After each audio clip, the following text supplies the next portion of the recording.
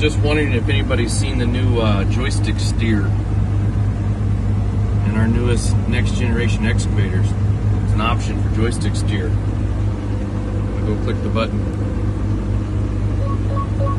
And ask me if I want to go to joystick steer. It's gonna tell me what all the buttons do. Gonna steer just like a skid steer. Clicked OK. OK. Now I have full joystick mode. Feet are off the joysticks. I'm steering the excavator, just like a skid steer. Go left to go left, right to go right.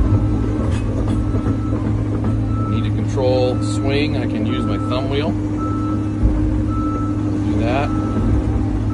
Also, if I need to use the boom and stick, I still have my right hand to do the boom and bucket curl. You got a track across a long job site.